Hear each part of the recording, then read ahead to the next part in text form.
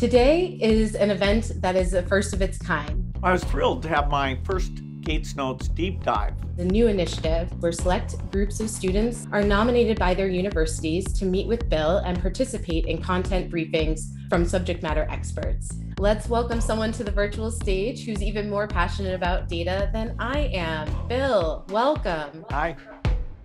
Education is something that I'm dying to learn how we can do better, both as a country and in terms of who the foundation is backing. Our foundation is trying to build data visualizations that help people in the education sector find best practices, to understand the trends. So it all began with this question What is the value of a college degree? Love that.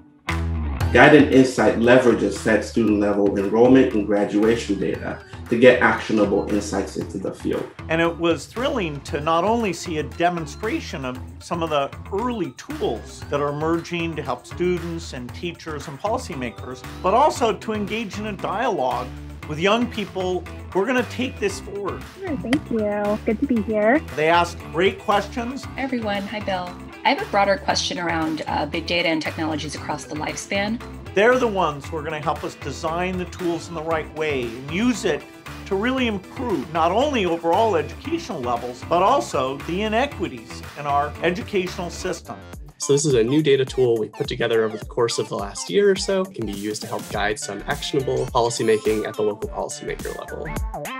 As you can see on the visualization, this approach has been incredibly successful. Young people like that have an aspiration to make it far better. How do we dismantle many of our notions of normative demographics? What kinds of knowledge does the average teacher need to value these big data sets? I'm very excited that we're able to back them with the right tools to improve this country. Welcome to our first ever Gates Notes Deep Dive.